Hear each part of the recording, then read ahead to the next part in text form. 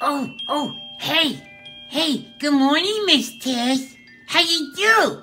This is Chip. I'm Guerty's pet chipmunk.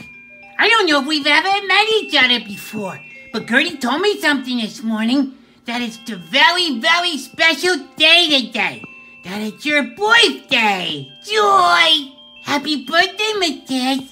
And you know what? Speaking of birthdays, I had my fourth just a few weeks ago.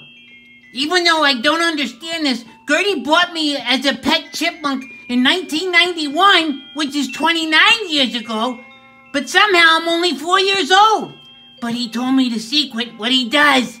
Three times a month, he takes me in his garage, sticks me in a time machine, and sets it back. So that's how I'm still four years old. Huh. I never figured that one out till just now. But you know what? We hope you have a great birthday. I know that Guerty and Miss Kim think the world of you. They hear I'm hearing them talk about you all the time, you know, and they just love you to pieces. And you know what? Guerty says you make a really, really good pizzelle. I asked him if I could have some, and he said no, I'm hyper enough. Huh. I don't understand that. You should see him how hyper he gets. Boy, just not fair. But we want to just tell you that we all love you and pray that Jesus blesses your very special day. Bye, Miss Tish.